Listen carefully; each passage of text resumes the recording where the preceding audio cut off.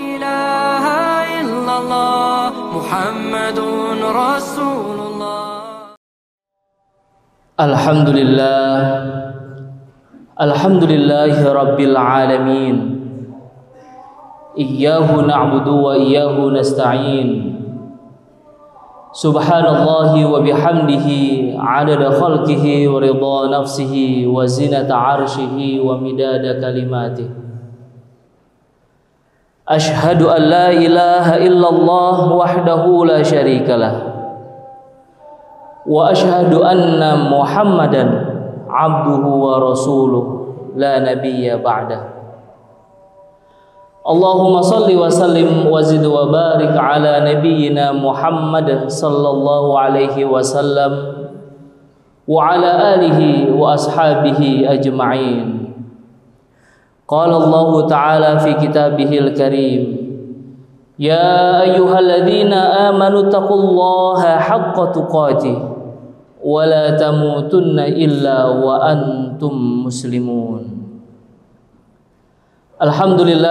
alamin. Para sidang Jumat Masjid Kampus UGM yang dirahmati Allah Subhanahu wa taala. Puji syukur milik Allah Subhanahu wa taala. Atas bermacam nikmat dan karunia yang Allah berikan kepada kita Yang itu yang paling mahal adalah nikmat iman dan Islam sehingga pada kesempatan hari ini kita bisa hadir untuk melaksanakan sholat Jumat berjamaah yang merupakan sebuah kewajiban bagi seorang laki-laki muslim. Kemudian salawat dan salam tercurah pada junjungan Nabi besar Muhammad sallallahu alaihi wasallam. Beliau merupakan khairul bashar. Manusia biasa seperti kita dipilih dari bangsa manusia agar tidak ada lagi alasan bagi kita untuk tidak mengikuti beliau Nabi mulia Muhammad sallallahu alaihi wasallam. Karena cara hidupnya, makannya, tidurnya juga sama seperti kita umat manusia yang lainnya. Kemudian yang ketiga, khotib mengingatkan diri sendiri dan mengajak para jamaah semuanya untuk sama-sama kita meningkatkan ketakwaan kita kepada Allah Subhanahu wa taala. Takwa inilah yang akan menjadi bekal dan menemani kita saat apa yang kita cari di dunia, yang kita usahakan kepala jadi kaki, kaki jadi kepala itu kita tinggalkan. Allah Subhanahu wa taala berfirman, "Fa inna khairaz zadi taqwa." Karena sebaik-baiknya bekal bagi kita manusia adalah takwa kepada Allah Subhanahu wa taala dengan menjalankan perintahnya dan menjauhi larangan Allah Subhanahu wa taala. Sidang Jumat Masjid Kampus UGM yang dirahmati Allah tentunya seruan dan juga ajakan untuk kita tidak melupakan saudara kita di Palestina setiap hari terus terjadi. Maka ada hal yang selain dengan donasi ataupun bantuan kita, kita juga harus menambah ilmu dan pemahaman kita tentang apa yang ada terjadi di sana. Sesungguhnya bangsa Palestina itu merupakan bangsa yang mulia dan juga tinggal di tempat yang mulia. Tempat itu merupakan tempat yang paling penting bagi tiga agama langit yaitu adalah Islam, Nasrani dan juga Yahudi. Tempat itu juga merupakan tempat yang istimewa bagi kita yaitu adalah umat Islam. Bayangkan kita memiliki Nabi Muhammad SAW yang mampu merubah keadaan Mekah saat itu yang penuh dengan kumrimba. Yang menang itu adalah yang kuat.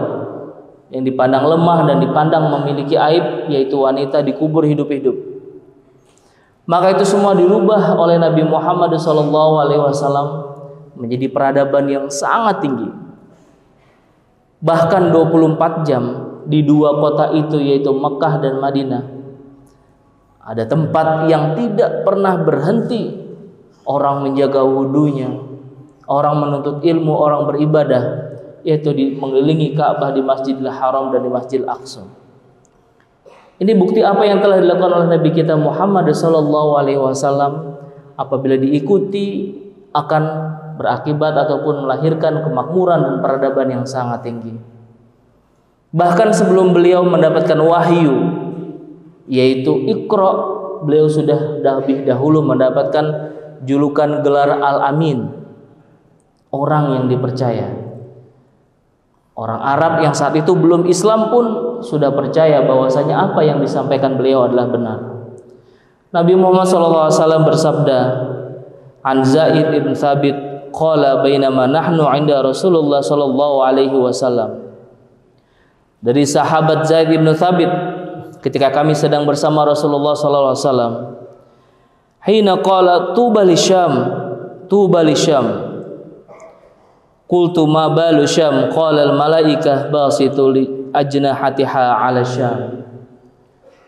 Saat itu Zaid bin Thabit bersama Rasulullah wasallam dan Rasulullah SAW kemudian bersabda betapa beruntungnya Syam tentunya juga dengan orang-orang yang ada di dalamnya Tuba itu kabar gembira betapa beruntungnya betapa nikmatnya Syam kenapa kemudian Rasulullah SAW melanjutkan ajanihatul malaika ajnatiha yaitu basitul malaika ajnatiha malaikat merentangkan sayap-sayapnya di atas Syam Bayangkan betapa malaikat itu makhluk yang mulia ketika diperintahkan oleh Allah sujud maka malaikat akan sujud terus.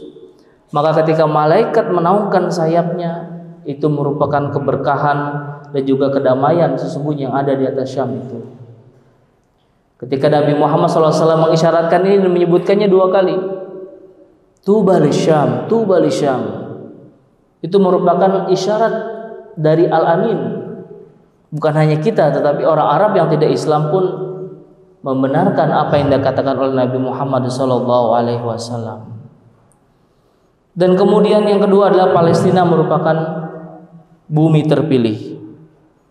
Itu bahwasanya qala Rasulullah sallallahu alaihi wasallam sayusirul amr ila antakunu junudan mujannada. Ini seperti mengisyaratkan menggambarkan keadaan kita para jamaah saya sirul amar ila antakunu junudan mujannada. Suatu saat besok nanti pasukan umat Islam itu kan pada zaman Rasulullah berada dalam satu komando. Kemudian tiba-tiba beliau menyatakan suatu saat kamu akan terbelah. Pasukan-pasukanmu akan terpecah. Jundun bisyam wa jundun bil yaman wa jundun bil. Kamu akan terpecah nanti ada pasukan Yaman, pasukan Irak, dan juga pasukan Syam. Wa qala Ibnu Hawala, "Khirli ya Rasulullah." Lalu bagaimana ya Rasul sikap kami? Pilihkan untuk kami. In adrakta dzalika faqala 'alaika bisyam fa innaha khairatullah. Kalau kamu bisa memilih, maka sesungguhnya pilihlah Syam. Syam ini merupakan kawasan di Palestina, kemudian Yordan masuk ikut ke dalamnya. Dan kemudian ada yang mengatakan juga pendapat Mesir masuk di dalamnya karena Mesir kan tidak diikutkan di sini. Yang disebutkan Yaman, berarti Yaman tidak masuk lagi ke dalam Syam. Kenapa Mesir masuk? Karena dari 12 keturunan Nabi Yakub itu ada 12 belasnya turun di Mesir dan juga ada 12 mata air di sana. Jadi yang mengajak kita untuk memuliakan Syam itu bukan orang sembarangan dari ratusan nabi yang wajib diketahui 25. Dari 25 nabi dipilih jenderalnya itu ada lima Nabi Muhammad SAW, Nabi Musa, Nabi Isa, Nabi Musa dan juga Nabi Nuh alaihi wassalam. Dan dari lima ini dipilih lagi satu panglima besarnya Nabi Muhammad SAW alaihi wasallam. Kenapa kita tidak percaya? Kemudian kemuliaan yang ketiga adalah bahwasanya tempat ini adalah tempat latar kejadian kisah-kisah yang ada di dalam Al-Qur'an. Para nabi itu banyak sekali yang disebutkan berhubungan dengan tanah Palestina, Ardul Muqaddasah, tanah yang suci ini para jamaah. Dimulai dari Nabi Ibrahim, Nabi Lut, Nabi Daud, jadi sekarang coba kita tilik tanah Palestina itu milik siapa? Apabila mereka itu begitu mengagungkan Nabi Daud, Kemudian karena Nabi Daud punya anak Nabi Sulaiman alaihi salam di dalam agama kita ini adalah nabi-nabi kita. Yang menjadi perbedaan mereka menganggap King Solomon, Raja Sulaiman itu yang terhebat dan tidak mengakui nabi setelah bangsa mereka. Maka mereka inilah juga yang menyalip orang yang dimiripkan Yudas Iskariot itu dimiripkan Nabi Isa. Syubbilhalahu yang dimiripkan sulib syubbiha suma suliba ya kan? dan mereka tidak mengakui nah, ketika itu Allah Subhanahu wa taala mengulus mengutus Nabi Ibrahim alaihissalam ke Kanaan. Nah, Kanaan inilah yang kemudian disebut dengan tanah Palestina. Kemudian Nabi Ibrahim alaihissalam menikah dengan Sarah. Ada riwayat yang mengatakan 80 tahun, 90 tahun belum dikaruniai keturunan oleh Allah Subhanahu wa taala. Kemudian diperintahkan untuk ke Mesir dan menikahi Hajar. Dari Hajar ini mendapatkan putra yaitu Nabi Ismail alaihissalam dan ditinggalkan di selatan yaitu di Mekah. Di wadin ghairi di dara'in inda baitikal muharram. Kemudian Nabi Muhammad SAW, eh, Nabi Ibrahim alaihissalam diperintahkan untuk kembali lagi untuk menemui istri yang pertama itu Sarah. Ternyata Allah mentakdirkan mendapatkan putra yaitu Nabiullah Ishak alaihissalam. Kemudian Nabi Ishak ini memiliki anak kembar. Salah satunya Nabi Yakub. Kemudian Nabi Yakub menikah dengan empat wanita. Di sinilah lahir 12 keturunan Nabi Yakub. Salah satunya adalah Nabi Yusuf alaihissalam. 11 orang inilah yang salah satunya Bunyamin Yehuda yang memiliki akal dan menjebloskan Nabi Yusuf alaihissalam ke dalam sumur. Jadi saat itu anak dari Nabi Yakub alaihi salam sebelum Nabi Yakub wafat itu dikumpulkan dalam surat Al-Baqarah. Idh hadara Yaqubul maut idh qala li banihi madza ta'buduna min ba'di. Dikumpulkan 12 orang itu anak itu. Wahai anak-anakku, ini setelah peninggal saya, siapa yang kalian sembah? Qalu na'budu ilaha wa ilaha abaika terus. Saya itu kami itu yakin menyembah Tuhanmu itu Allah Subhanahu wa taala. Jadi Islam itu kan nama, tetapi agama dari mereka sebenarnya sudah tauhid. Sudah monoteis menyembah Allah Subhanahu wa taala. Keadaan itu mengganggu Firaun yang saat itu merasa bahwasanya dirinya itu adalah Tuhan. Maka bangsa Yahudi ini diperbudak. Perbudak diselamatkan oleh Nabi Musa alaihissalam untuk menyeberang kembali lagi ke tanah Palestina itu yaitu dengan membelah Laut Merah itu.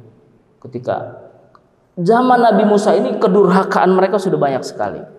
Jadi apabila sekarang mereka mengkhianati janji sudah tidak bukan hal yang biasa. Makanya jangan pernah percaya.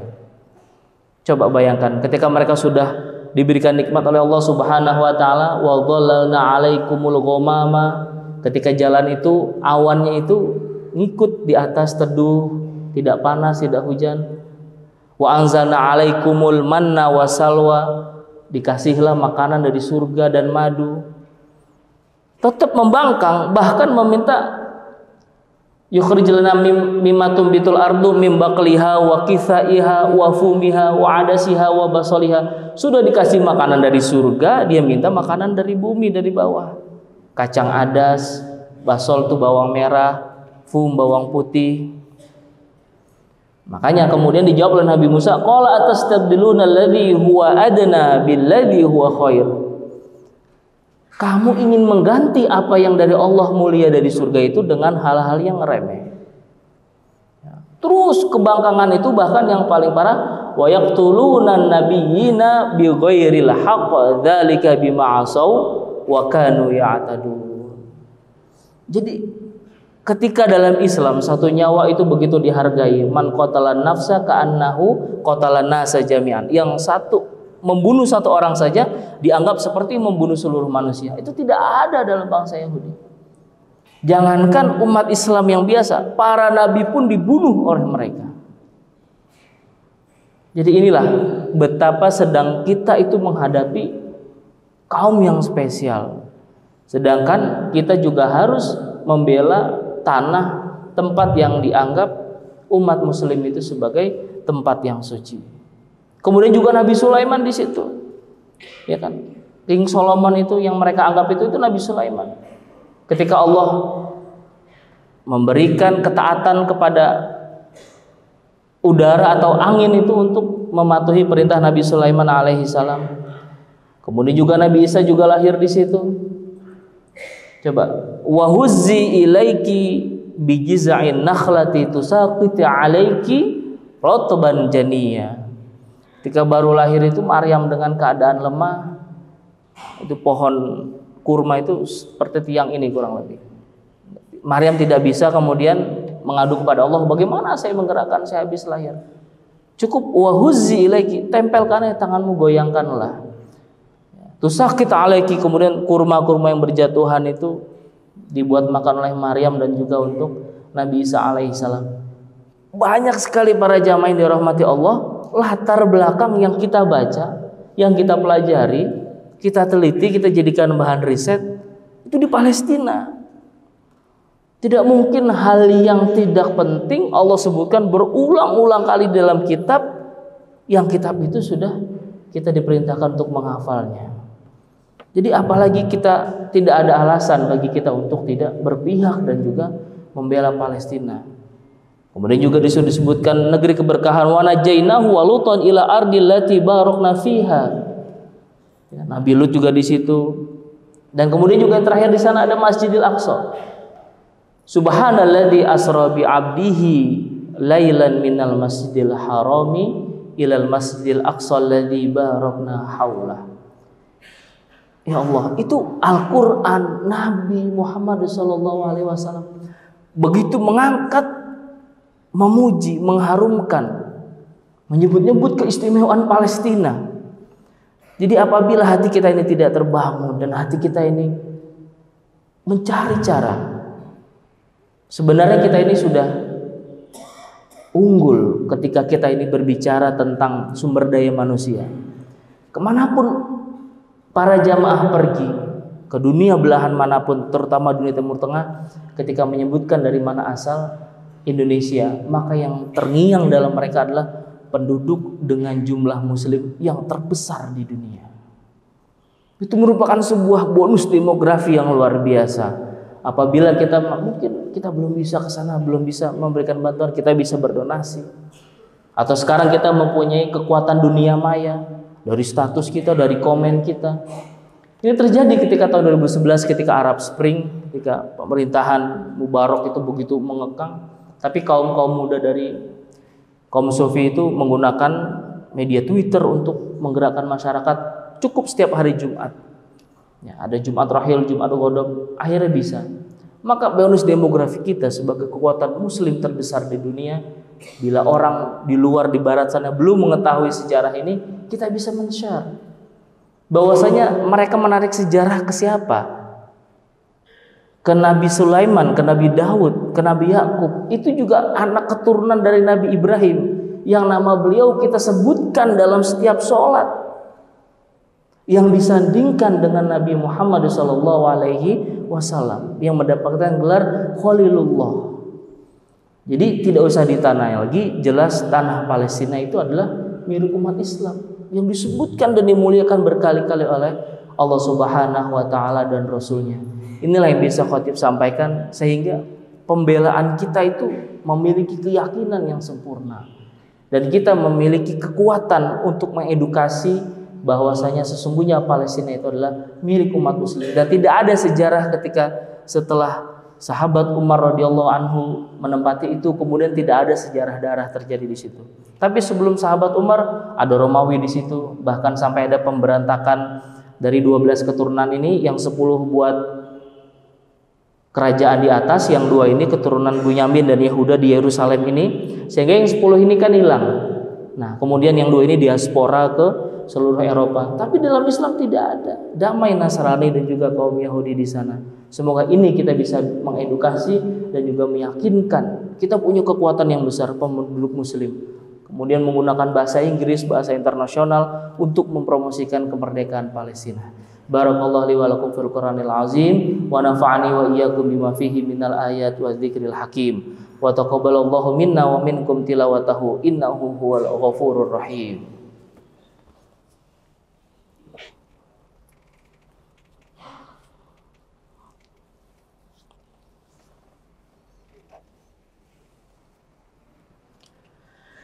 Alhamdulillah wassalatu wassalamu ala Rasulillah asyhadu an la ilaha illallah wahdahu la syarikalah wa asyhadu anna Muhammadan abduhu wa rasuluh. Allahumma shalli ala nabiyyina Muhammad wa ala alihi wa ashabihi ajma'in. Ittaqullaha haqqa tuqatih wa la tamutunna illa wa antum muslimun. Para jamaah sidang Jumat yang dirahmati Allah, masalul mu'minina fi tawadihim wa ta'atufihim seorang muslim itu dalam kasih sayang, dalam saling merasa kamathalil jasad. Idza minhu udwun tada'alahu sairil jasad bil humma sahar. Kalau ada satu bagian yang sakit, maka bagian tubuh yang lain akan merespon dengan demam dan juga dengan rasa sakit. Sesungguhnya mudah bagi Palestina itu untuk memerdekakan. Allah Subhanahu wa taala mengabadikan peristiwa perang Badar walaqad nasarakumullahu bi badrin wa antum azillah.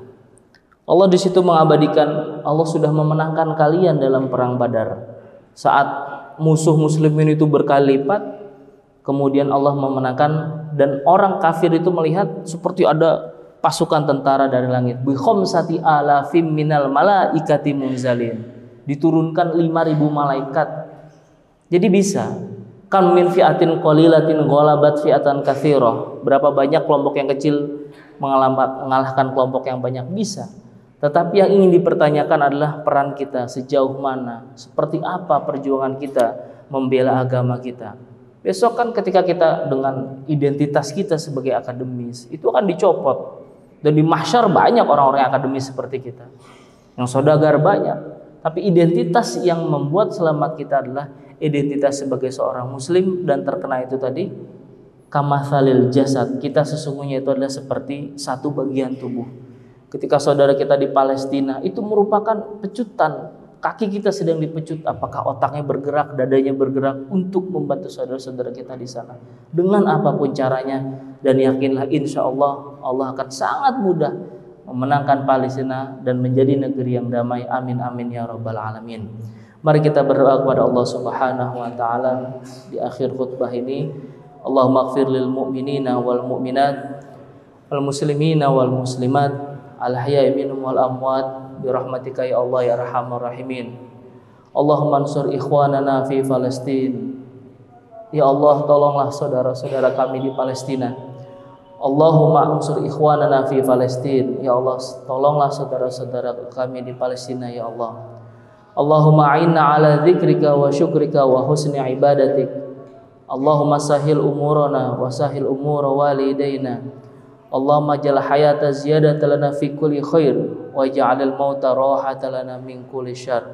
Allahumma arzuqna fahman nabiyyin wa hifzal mursalin wa ilhamal malaikatil muqarrabin bi rahmatika ya Allah ya arhamar rahimin. Rabbana atina fid dunya سبحان ربك رب العزة عما يصفون وسلام على المرسلين والحمد لله رب العالمين. أقم الصلاة. لا إله إلا الله محمد رسول